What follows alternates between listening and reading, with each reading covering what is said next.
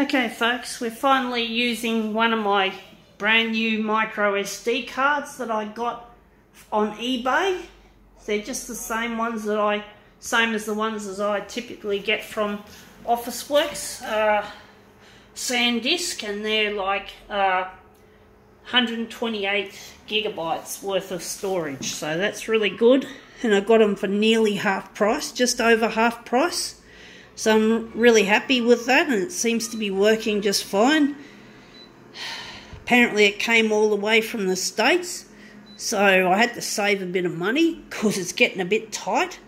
Electricity's going up and rent goes up. So basically I've got to somehow make allowances. So wondering how big we're going to make this. We're going here. Hear that, folks?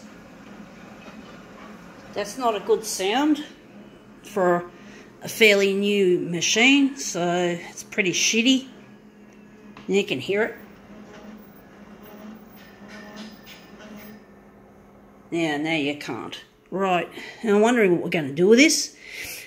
Oh dear. We're going to make it negative positive. I wonder what sort of background colour we're going to give it. We're going to leave it, I think. We'll see how it turns out. Um, what are we going to do here?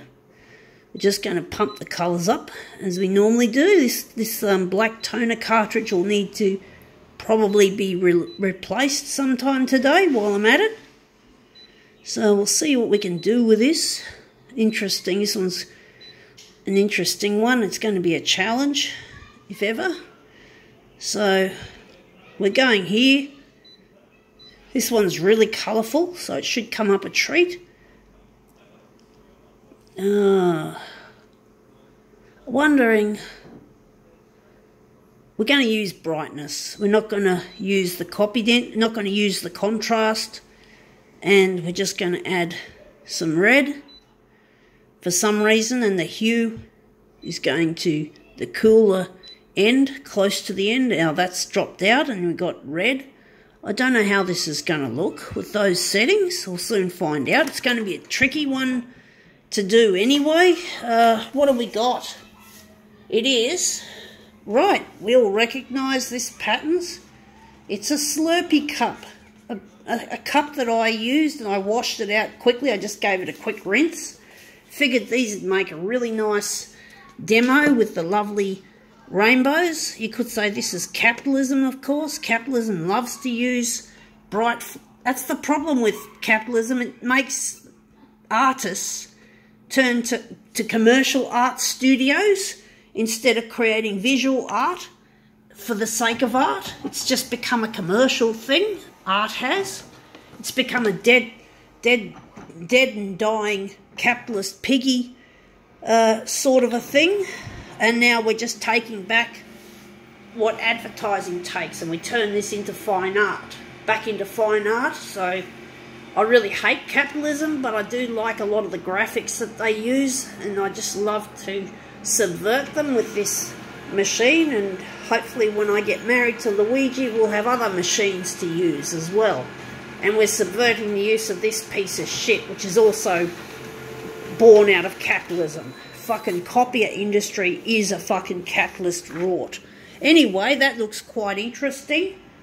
I'm wondering if we're going to do any better or if we're just going to use this lovely image and we're going to make it into a mirror image and make something out of it. We don't need the whole lot. We just need part of it. So we don't have to slavishly copy the original, we got to make it make it another kind of original. We got to make it original the way we re, we subvert the commercialism that that has become a part of being a visual artist because most there's not much money to be made in visual art unless you're a fucking Ken Done who's already established as a as a um, an artist that's able to make money out of what he creates.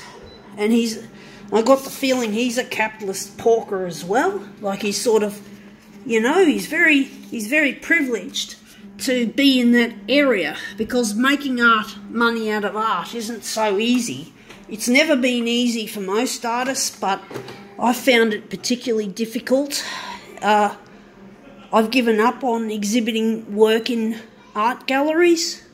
Uh, I just feel the art gallery system's just too snooty. It's always snooty. Like everything is is made for the rich person, not the not the poor or the less fortunate in the socio-economic stakes, I'm afraid. And I'm not one of the lucky ones when it comes to making money. I'm I'm dead stupid at making money. All I can do is, is subvert things and create things and make think outside the box.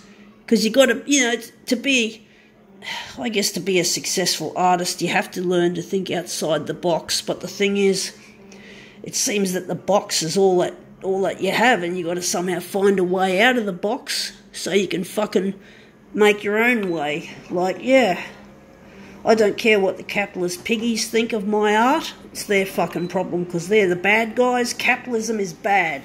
It's okay to. It doesn't mean we have to go back and, and be communist because communism's not good either. But we we got to be socialist. We've got to consider the social ramifications of business.